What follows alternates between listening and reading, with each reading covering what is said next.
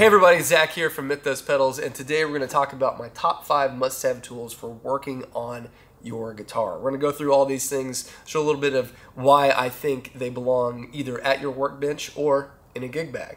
So first up is this. This is a spanner wrench. ESP makes this one. It's really tough. A lot of companies are making them now, and you can get them really cheap.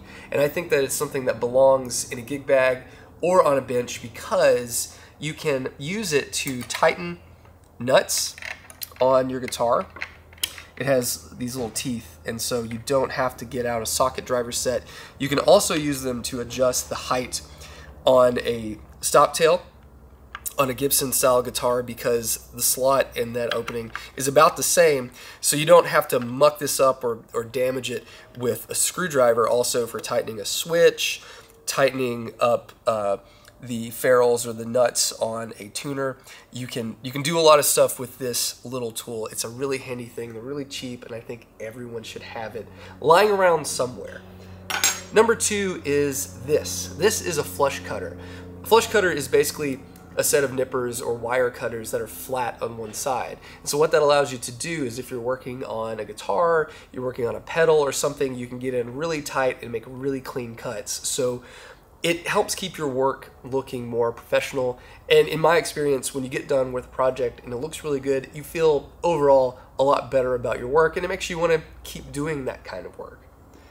Okay, so number three is this, the Rene Martinez toolkit from Mojotone. This thing is a must-have because it has every size Phillips, flathead, and Allen or hex key tools that go in the screwdriver handle. It even has some socket drivers that make it a must-have for working on your guitar. It can adjust the bridge on both Fender and Gibson style instruments. You could even work on a Floyd Rose with it. And if you're gigging, if you're touring, or if you're just working at home, this can pretty much take care of any task that you need it to. So everyone should have one of these. I buy these for my friends because I think it's so valuable.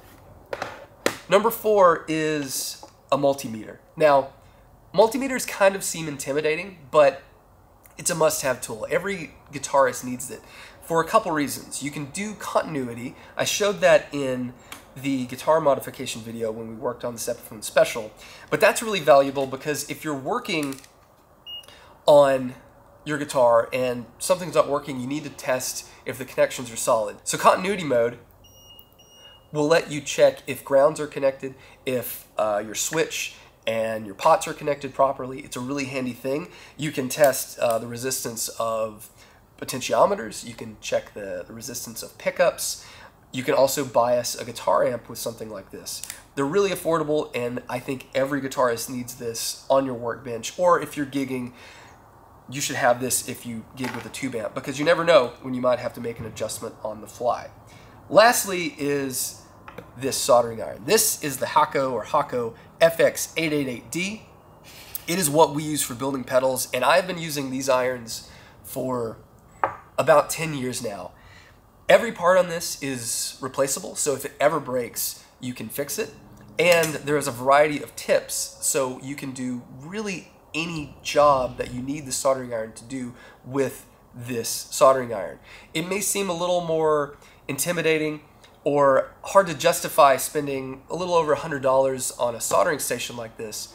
But once you experience the flexibility of being able to adjust the heat, so it doesn't matter what type of solder you're working on, what sort of project you've got, this solder station can handle it. And I think that everyone needs to have a soldering iron like this on your workbench. If you're gigging, you can get a pencil style iron, so if you have to make a, a, repair on the fly, keep that in your gig bag or have a toolkit that you take on the road.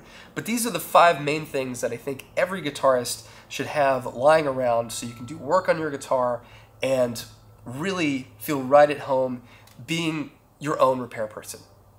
Last up, I want to cover some wild card things, some things that I think guitarists should have in and around their, their workspace, but you might not necessarily need. Um, we talked about this in the guitar modification video. This is a chopstick. If you're doing any soldering or testing uh, your tubes in your amp, poking and prodding inside an amp so you don't want to shock yourself, a chopstick is a handy thing. So next time you get takeout, grab a couple extra chopsticks and just throw them on your workbench. The next thing is fret erasers. Now we featured those in the video where I modified this Epiphone as well, but these are basically like a pencil eraser with an abrasive. You can use them to polish frets. They can kind of fix fret sprout.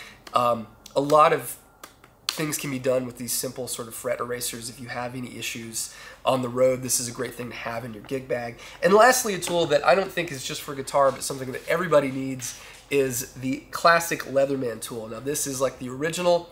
Um, this is something that I've used to work on everything in my life, in and around my house, on guitars. You have a variety of screwdrivers, you have pliers with wire cutters, all the things you need to do most projects, and it's just a small tool that really will serve every purpose, uh, especially in a pinch. If you if you need uh, to do something quickly and you don't have any other tools around, usually a Leatherman tool can get the job done. So those are the tools that I think every guitarist need.